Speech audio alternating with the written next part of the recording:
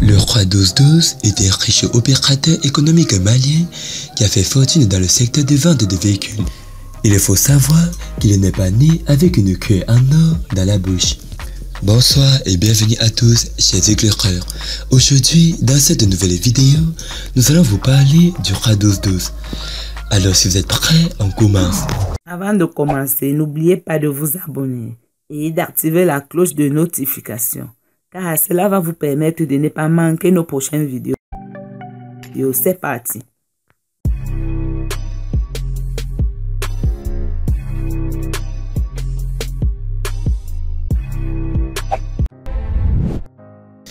Natif de Makala, un arrondissement de la région de Ségou, Sidi Mouta Dembélé s'est très vite engagé dans son développement personnel et celui de ses proches. Avait brillant à l'époque, Sidi se lance dans le commerce. À 12 ans, il revend l'essence dans des bouteilles au marché de Banakabougou. Je n'ai bénéficié d'aucun marché public de l'État malien pour me hisser à ce stade, avait-il déclaré. Courageux et intelligent, quelques années plus tard, Bassidi rejoint l'aéroport international du président Modibo Keita avec du matériel pour le cirage de chaussures. Il devient ensuite monteur de vélo au Grand Marché de Bamako. Marié et père de famille, M. Dembélé a opté pour la vente de véhicules d'occasion en 2006. Dans le monde des affaires, il faut avancer avec conviction et armé d'ambition. On ne doit jamais se décourager, lance l'opérateur économique malien. Pour ce quinquagénaire, la vie c'est comme un livre dont on tourne chaque jour une page. Malgré les défis et les difficultés rencontrées, on doit se battre pour ses convictions, être ambitieux et courageux, afin de se donner les moyens pour réussir, dit-il précisant que la vie est une échelle à différents niveaux. Nous ne devons pas être pressés car nous devons nous patienter, indique-t-il. Quand une vieille dame de passage a vu mes voitures dans un parking automobile à Bamako, elle était étonnée. Du coup, elle m'a appelé Danke Ibi Tanifila. En langue française, mon fils, vous êtes 12 sur 12. Illico, le jeune malien décide de mettre sur les plaques de ses véhicules à vendre 12 sur 12, d'où le nom Roi 12-12. Selon un opérateur économique malien, Roi 1212 est actuellement le jeune le plus riche de Bamako. Je ne suis pas un homme politique. Je ne suis ni dans la mouvance présidentielle, ni de l'opposition malienne, mais je suis un commerçant import-export. Je pars là où je gagne, car je cherche de l'argent pour encore réaliser d'autres rêves, souligne-t-il dans la même vidéo. Sidi Mouta Dembélé est parti de rien pour se hisser à la tête des meilleurs parcs automobiles du Mali.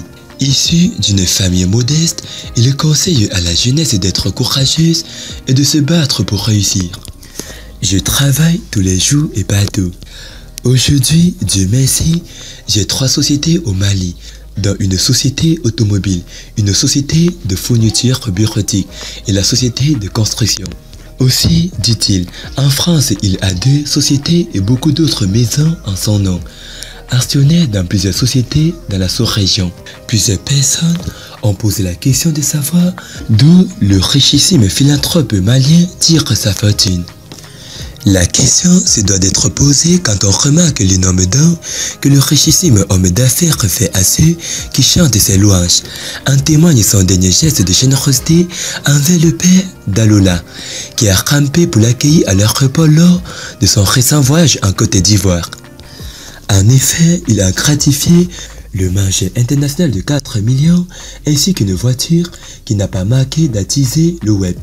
Présentement, il est dans le secteur de l'automobile. Il est le propriétaire d'un parking et c'est bien dans ce domaine d'activité que le Malien a fait fortune. La solidarité, le partage, l'entraide sont des symboles que tous les religieux en général et en particulier les musulmans partagent.